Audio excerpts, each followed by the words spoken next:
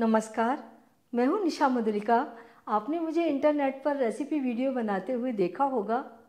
मेरा मिशन है कि भारतीय शाकाहारी खाने की विविधता और स्वाद दुनिया के हर घर में पहुँचे। आपने मुझे पूरा सहयोग और बहुत बहुत प्यार दिया है, सफलता भी दी है। दस बारह साल पहले जब मैंने अपने परिवार को कुकिंग वीडियो बनाने की इच्छा बताई, तब उन्होंने मेरी इस बात को बिल्कुल भी फालतू नहीं समझा। मुझे पूरा सहयोग दिया।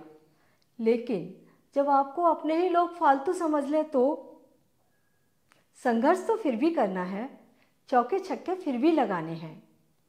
ऐसी ही एक बड़ी फाइटर है जिसे लोगों ने फालतू समझ लिया, लेकिन उसने भी अपने मन में ठान ली कि मुझे अपने सपनों के लिए लड़ना है।